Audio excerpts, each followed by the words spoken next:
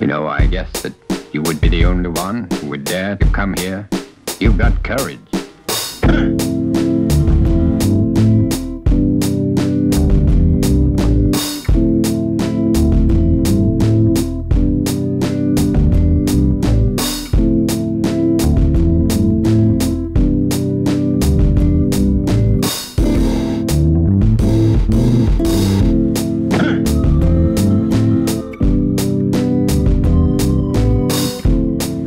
Before you get a chance to fight with me, you must observe our rules and beat these two swordsmen first.